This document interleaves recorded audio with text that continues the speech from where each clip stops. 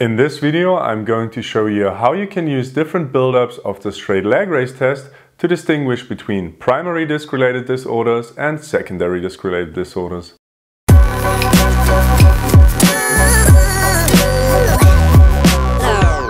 To perform the SLR with a distal initiation, you first flex the knee and hip and then dorsiflex the ankle to make sure to distally pre-tension the sciatic nerve to ensure maximal distal movement of the dura. From this position, bring the leg into an extended position again and passively flex the hip while you maintain dorsiflexion. Continue the movement until end range is reached or the patient's symptoms are reproduced. Next, ask your patient to flex his head with a chin tuck, thus flexing the cervical spine. In this position, we will have maximal tension of the dura. At last, release the dorsiflexion, which will allow the dura to move into cranial direction towards the starting position. For the SLR with proximal initiation, we first flex the hip and knee to create slack in the dura. Now the patient is asked to flex his neck, which pretensions the lumbosacral plexus in cranial direction. Afterwards, dorsiflex the ankle and extend the leg. Then passively flex the hip while maintaining knee extension. This movement creates maximal tension, while this time the distal movement of the dura is limited by the cranial pretensioning. Finally, the patient is asked to return his head back to the bench, which reduces the cranial pretension and lets the dura move distally. With primary disc-related disorders such as a disc protrusion, prolapse or extrusion, pain will be provoked especially when root tension is the greatest. This means that during the distal initiation we will have mild pain during the dorsiflexion and the straight leg raise. We will have maximal pain with the added chin tuck and neck flexion. And we will have decreasing pain as soon as the ankle dorsiflexion is released.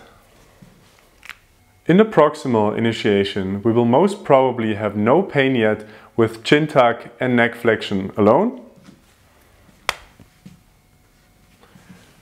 Again, we will have maximal pain when dorsiflexion and a straight leg raise are added.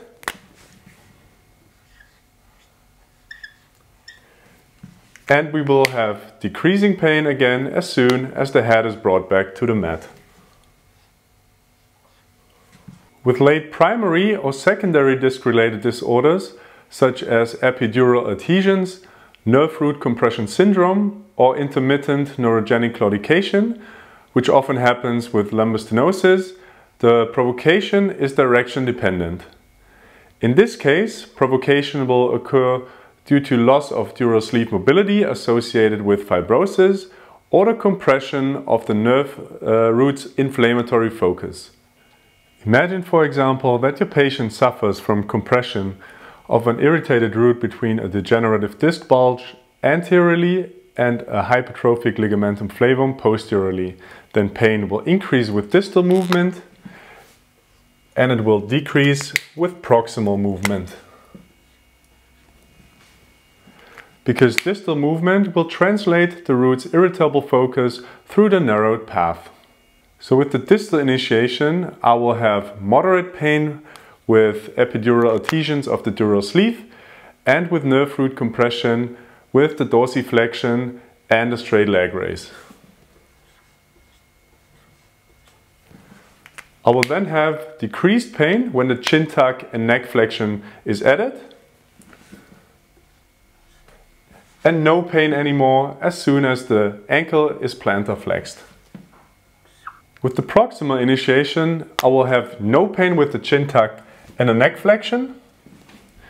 I will have still no pain with the added dorsiflexion and straight leg raise as the irritable focus of the nerve root and the dural sleeve are pre-tensioned cranially and my patient will feel an increase of pain when the neck and head are extended because now the irritable focus can move distally again through the small space of the intervertebral foramen.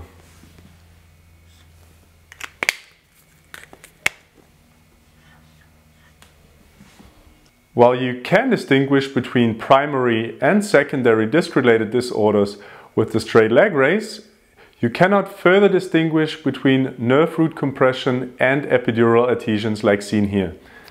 Therefore, you will have to do the slump test with different buildups. You can watch this video by a click in the top right corner. Alright, this was our video on the distal and proximal initiation of the straight leg raise test. I hope this video was helpful to you and enables you to distinguish between primary and secondary disc-related disorders. At last, don't forget to subscribe to our channel if you haven't and follow us on various social media. I'll see you in the next video. Bye.